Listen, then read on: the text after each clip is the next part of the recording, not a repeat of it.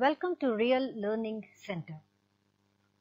Today, we will go into the beautiful world around us and explore about the colorful chemistry which exists around us. In this particular session, we chose the topic which is about matter which we see all around. When we're talking about matter around us, we start our sessions talking about why chemistry in the first session. Later on, we will be discussing about various aspects about matter like kitchen chemistry, interesting reactions, different states of matter and separation of materials in this first uh, session of matter around us. So, in today's session, let us first discuss about why chemistry. We might all be wondering what is chemistry and why we need to study chemistry and what is that we get to know when we study chemistry. When we are studying all that, let us just take one very very simple example that we see around us almost all the time and that is the table salt that is right in front of me here. If table salt is not added into our food, our food would not taste yummy. However, do you know that actually the salt that we consume is the sodium chloride. Sodium is written as Na and Cl as uh, chloride and therefore salt is nothing but sodium chloride. And if you just have a nice microscope to see the structure of sodium chloride, you see that it has a beautiful cube, structure. Okay, and you see that there is sodium, there is chlorine, all of them which are attached by some kind of bond, some kind of black color threads, and that keeps the sodium chloride together. Now, when I say this uh, sodium chloride, you know, it has made up of sodium which is actually a metal and just like any other metal this metal is also shining. This is also lustrous. And the sodium metal is so soft. You know you can cut the sodium metal with your knife. And when you have the sodium metal with you you know you always keep it in a kerosene bottle. If i don't keep it under kerosene bottle then you can see that it reacts with water in the atmosphere and it can just blast. That is the reason why sodium and metals like potassium and lithium, they are all stored under kerosene. So, you might be wondering that the sodium metal is so harsh, right? However, the other element that is there in our common salt, the sodium chloride is the chlorine. And you see that this chlorine which is there is also not safe. Actually speaking, it is a gas with pungent smell. And this is also dangerous. It is also poisonous. Inhalation of too much of chlorine into our body might also be fatal.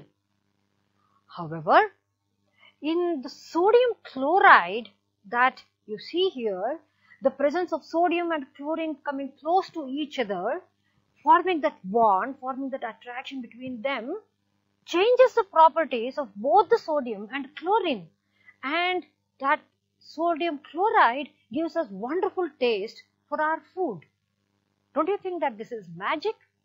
Indeed it is. And that is the magic of chemistry. Basically speaking, in chemistry we are actually trying to find out the reasons for why the substance behave you know as they are. Why do why does sodium chloride behave completely different from how the sodium is or how the chlorine is? Now this difference is what we study in our chemistry. And that is the fascinating part of chemistry this part of the study where we try to link the behavior of the substances to the nature of the chemicals, nature of the elements is what we call as the pure chemistry. Okay. Now, when we are studying about pure chemistry, we will not stop only about their behavior. Right now you can see here that there is a small aquarium and there is a cat sitting above it. Now, would you be interested to know what would happen if sodium chloride enters into these living things? Obviously, and that part of our study is what we call as biochemistry. Biochemistry is that branch of chemistry which actually talks about the importance, the behavior, the reactions of all these chemicals inside a living system. It might be a fish, it might be a cat, or it might be ourselves. Let us just take one example. Right now I have uh, two, test, uh, two beakers here filled with water. What I would do is, I'll put salt in one of the beakers. And now if I put salt, what would happen? You can see that if I taste this water, it will be salty. I am going to put one more spoon of salt in another beaker and this also would be salty. Now, if I taste both these waters, you know, I can find out that both the waters are tasting the same. Now, what I do is, I'm going to add one more spoon of salt into this and mix it well. And now, out of these two beakers that I have, one has one spoon of salt, the other one has two spoons of salt. And if I'm going to taste them, obviously the first beaker which has only one spoon of salt would be salt, salty. The second beaker would be saltier than the first one because it has two spoons of salt. Now, if I want to make them to taste the same amount of salt, what I would do is I would add some water into the beaker where there are two spoons of salt. Now, this balances out the two spoons of salt. Right? So now if I take any of the beakers, both the beakers would taste the same because in one of them I have added twice the water of the original one. Now this concentration of salt and water is a very very important phenomenon and this is actually the pure chemistry right now when we are talking about biochemistry, you know, this kind of maintaining the concentration is very, very important and trivial matter. Where would you find that? Now that is generally seen in our own body and that is actually called as blood pressure. Our blood is made up of water and it also is made up of salt. Now sometimes when the salt concentration increases, when the salt concentration increases, we see that more amount of water is coming to the blood. Okay, more water is coming into the blood and this is actually going to increase the pressure on the heart. The pressure on the heart is measured as the systolic pressure and the diastolic pressure. Now this pressure is going to be you know changed and influenced by the amount of salt and the amount of water that is present in the blood.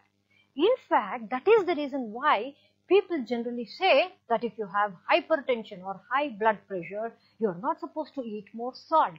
Because when you have more salt, there will be more water in the blood and that would pressurize our heart. Isn't this interesting?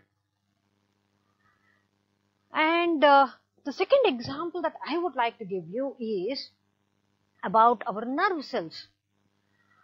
The nerve cells are present in our brain, okay, in our brain and these nerve cells are called as neurons a very very important organ to control and coordinate all the processes that happens in any living system. Now, you see that the neuron structure is different from any other typical cell. you see that it has a big body and this body tapers into a long tail and then again you see that it branches out.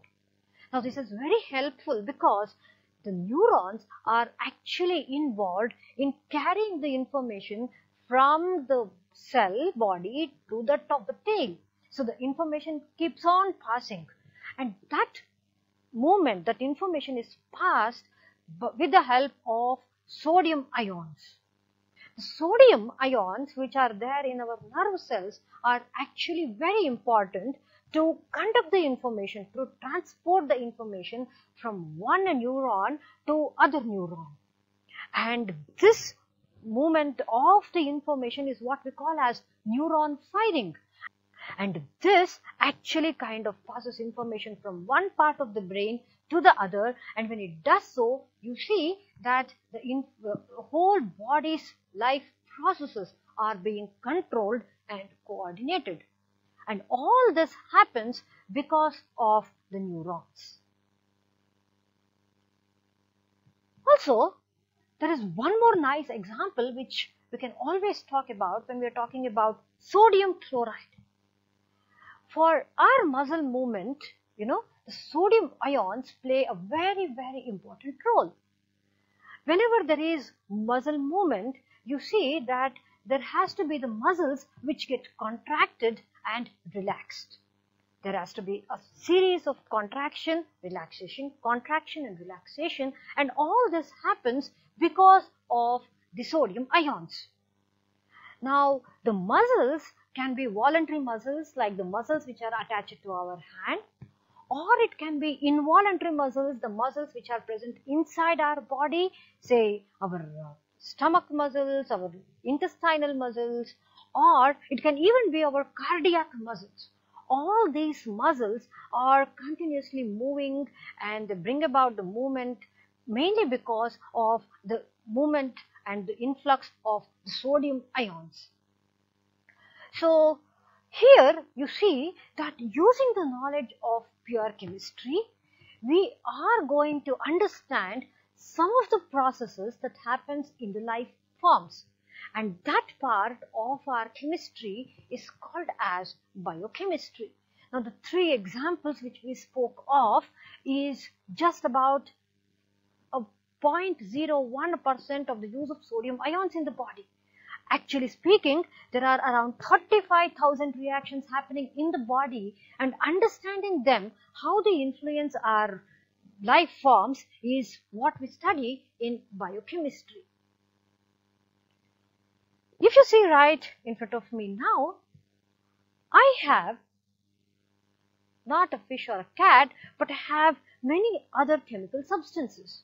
Now these chemical substances are something that we use almost in our day-to-day -day life. We have the soaps which we use regularly to take away dirt from our body or from the fabric. And then we have the pickles which is uh, many of our favorite fruit uh, food. And then uh, we have uh, the ORS juice which is the juice which is generally given for a person who feels very weak, whose electrolyte concentration has come down, who is tired, you know, or is just uh, uh, getting up from the fever. And then we have the nasal spray. Now you might be wondering, when we're talking about sodium chloride, how does all this play a role? And now all this plays a role because all of them in one way or the other are using up our sodium chloride. The soap that we have is actually made from vegetable oil and a compound called as the sodium hydroxide. This sodium hydroxide is made from sodium chloride. So for making soaps, we need sodium chloride. Then we have the pickle. Now pickles generally we do not make it fresh every day. We make it one day and we marinate it for a few days and then we keep it throughout year and they can stay year after year mainly because they have very high sodium chloride content. Now this sodium chloride will actually act as a fungicide as a bactericide does not allow the bacteria or the fungus to grow and by chance there is a bacteria present, you know, it, it takes out water from the bacteria by a simple osmosis process and thus the pickle remains fresh. That is the magic of using salt in pickle along with of course giving the taste. The third one that I spoke of is the ORS. Now this ORS which is given as a electrolyte uh, juice, you know, in many of the times, you see that this is the one very, very important component to get back our body to function normally. As I told you, the sodium ions in our body has lot of roles to play, be it simple muscle movement, heart beating or movement of our stomach or it can be as strong as keeping our memory sane. Now to all this we need ions and ORS is the one which has good amount of sodium ions present in it. Therefore, when you're really feeling weak, you cannot feel like walking up, you drink ORS and you get all the energy needed. Now there is also one more which is the nasal spray. The nasal spray that we use is nothing but 0.9% of sodium chloride and this sodium chloride will actually decongest our nose and sinuses whenever we have a bad cold.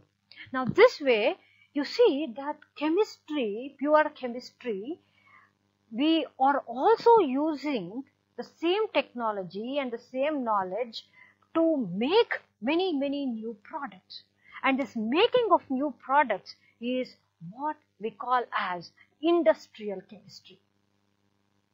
So industrial chemistry is nothing but the application of what we learned in pure chemistry to apply so that we can make some articles out of it, some uses out of it, practical uses of all this and that is what we call as industrial chemistry. Now for majority of the things that we told now, sodium hydroxide is such an important chemical and where do we get sodium hydroxide from? Sodium hydroxide is obtained from sodium chloride. And now let us just see how we get sodium chloride. Now sodium chloride is actually used to make sodium hydroxide. And how do we make this is by a process called as the chlor-alkali process. In this process, there is one inlet which allows sodium chloride to enter and we see that this gets mixed with water and when we give some electricity into the tank there is formation of sodium hydroxide. Electricity helps to break down sodium chloride and water into respective ions and thus you see the formation of sodium hydroxide. The other products of this entire process is the hydrogen gas and the chlorine gas. All these three products, the sodium hydroxide, hydrogen and the chlorine gas can be collected separately and can be used for various purposes. If you just see all this, you get to know that chemistry is a very, very important subject because it is useful for ourselves to understand. It is also useful to understand our nature and not only that, with this knowledge we can also use it to come out with various new substances around which can be used for various other purposes. Now this is why we need to study chemistry. So this finishes our first session on why we need to study chemistry. In our next coming videos, we'll try to explore more about the matter around us. Thank you.